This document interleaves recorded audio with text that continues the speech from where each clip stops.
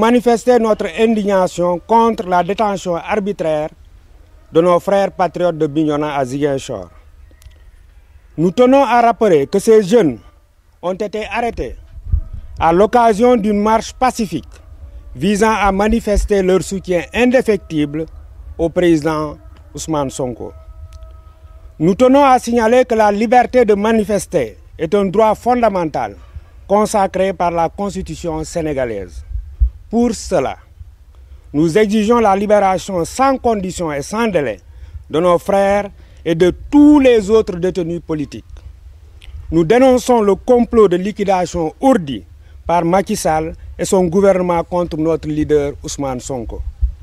Nous savons tous qu'Ousmane Sonko représente aujourd'hui le leader incontesté et incontestable de l'opposition sénégalaise. Et le projet de Macky Sall consiste, on le sait, à l'empêcher de se présenter aux élections de 2024. Faudrait-il rappeler que c'est Macky Sall lui-même qui avait promis devant tous les Sénégalais de réduire l'opposition à sa plus simple expression? Nous constatons dans les faits qu'il reste dans cette logique. Les faits sont têtus. Son projet suit son cours et il a emprisonné Karim Wade et Khalifa Sall.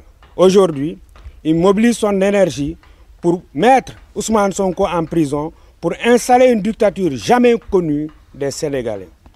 Mais nous tenons à faire noter que nous n'accepterons jamais cette forfaiture.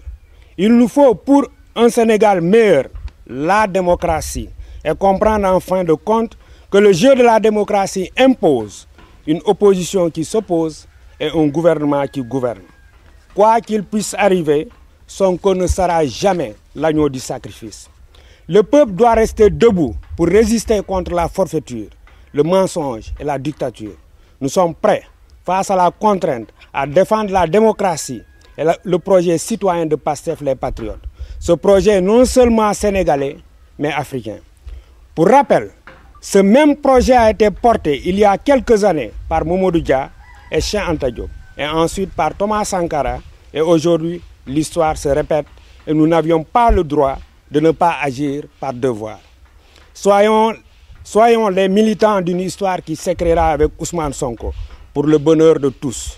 Nous lançons un appel à tous les citoyens épris de justice de se mobiliser comme un seul homme pour faire face à la dictature Bakissal. Nous saisissons l'occasion pour nous adresser solennellement aux leaders d'opinion de ce pays qui doit prendre leurs responsabilités et dissuader Macky Sall dans son projet d'instaurer la dictature qui agit contre notre propre intérêt.